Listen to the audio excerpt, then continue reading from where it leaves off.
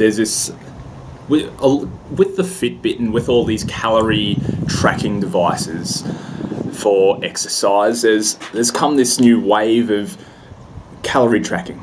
You know, with the Fitbit and with all of these new crazy cool devices that track your steps and track your calories, how much cal- how many calories you've burned over this period of time and whatnot, there's become this obsession, this unhealthy obsession, in my opinion, with tracking calories during exercise from beginners, for beginners. Now, if you're new to your weight loss journey or you're endeavoring on, on your, the next stage of your weight loss journey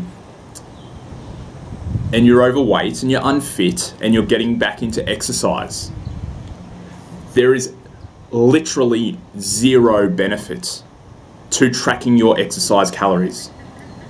There's no benefit at all because what tends to happen from this is people get obsessed on these numbers that sometimes aren't even that accurate, especially if you're using a Fitbit. If you're using a heart rate monitor that straps around the chest, that's probably the most accurate way.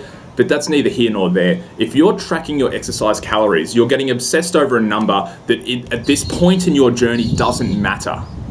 You don't need to know how many calories you're burning. You don't need to know what your heart rate is at all times. What you need to focus on is doing exercise consistently, whatever that exercise may be.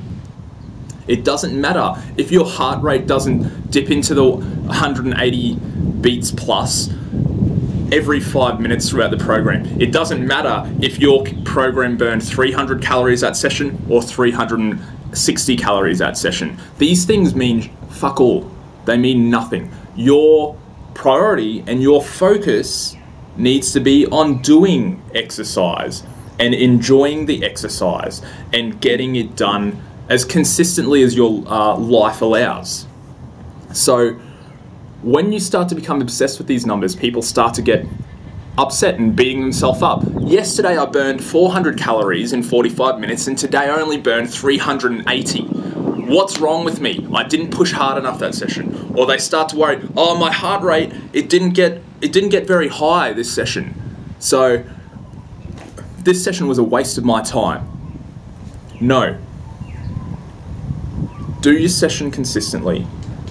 Look, the only people who really need to know their heart rate are athletes who are training to push their lactate threshold, or get into a certain heart rate, or, or people who. Well, that's probably it, to be honest. The average Joe doesn't need to use these calorie counting devices and doesn't need to obsess about it so much. Just do your exercise, guys. Enjoy it, you know, have fun with it, get it done, once that's in play, then you can use calories as a bit of a challenge. You know, you can use calories to challenge yourself to get your heart rate up, or you can challenge to do a certain amount of calories in a week and stuff like that. But there's no real point until you have the habit of exercise down pat. Simple as that, guys. Peace.